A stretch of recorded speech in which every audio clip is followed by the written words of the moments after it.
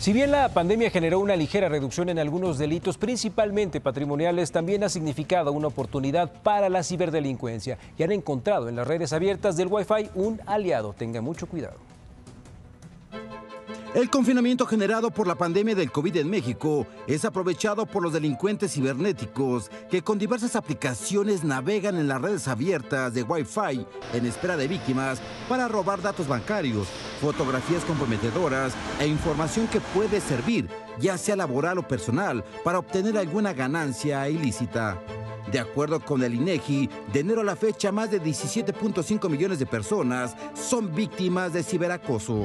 Eh, se ha detectado precisamente una, al, momento de que los usuarios tienen mayor actividad en la red, derivado precisamente de que estamos en este confinamiento, eh, las actividades aumentan en cuestiones de las actividades que veníamos realizando, de escolares, académicas, de entretenimiento, etcétera, hace que precisamente estos delincuentes saben muy bien que pueden empezar a enviar ganchos para que seamos víctimas de algún fraude, de algún robo de identidad, etc.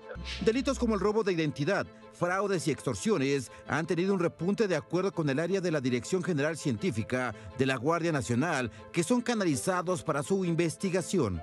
Hasta el momento, solo en la Ciudad de México están en proceso 100 denuncias ante la Fiscalía General de Justicia de la Ciudad de México por el robo de datos y movimientos bancarios que no se realizaron y robo de identidad al conectarse a la red abierta del sistema de transporte colectivo Metro.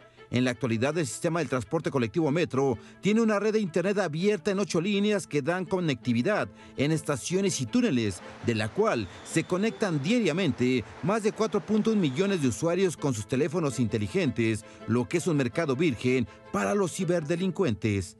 Al ser una red pública, eh, siempre hay algún tema de, de, seguridad. Nosotros exhortamos a la gente a que utilicen esta red de la manera adecuada. De toda manera, como Metro contamos con un, un NOXOC, que es un centro de operaciones de, de red, y uno de seguridad que se encarga de la operación y de la seguridad de la red. No estamos diciendo que sea una red insegura, más sin embargo, los exhortamos a que la usen de manera adecuada. Cuando usted se conecta a una red abierta de Internet, recuerde que puede ser víctima de los delincuentes que pueden retirar dinero de sus cuentas bancarias si abre la aplicación del banco para hacer algún movimiento o el robo de fotografías comprometedoras e información que puede ser utilizada para extorsionarlo. También le pueden robar sus datos de identidad para cometer un fraude o puede ser secuestrado.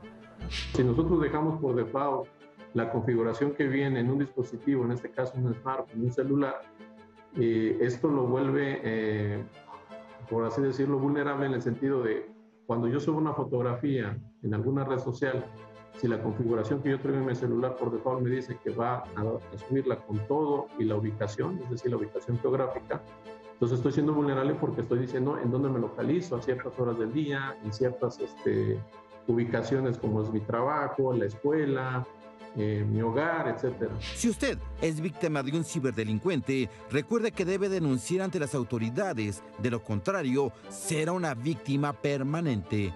Para imagen, Raúl Flores Martínez.